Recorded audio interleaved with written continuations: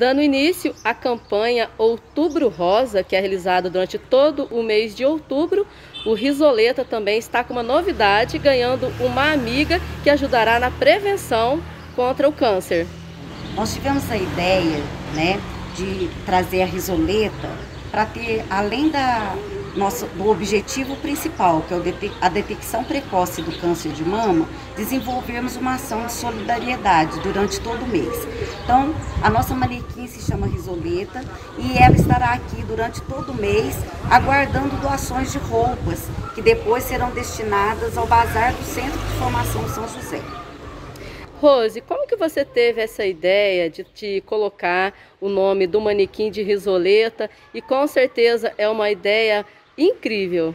Então, pelo nome da nossa unidade, né, por saúde risoleta, então nós é, resolvemos nominá-la de risoleta também e com isso estimularmos a toda a população a estar tá fazendo essas doações. Às vezes a pessoa tem alguma roupa, algum acessório que não vai mais estar tá usando, pode trazer para nós.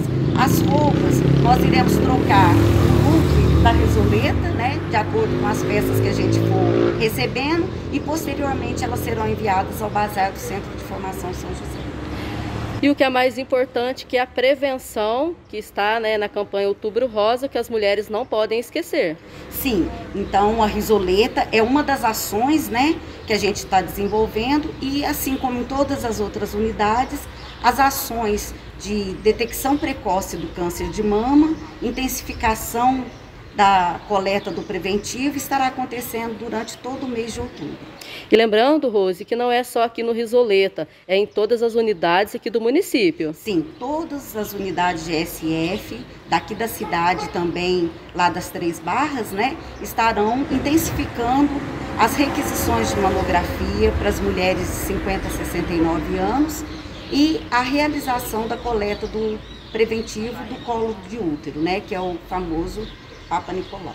Cada mulher procurar o PSF que está vinculado, né, do seu bairro e as moradores da zona rural aqui no Risoleta conosco.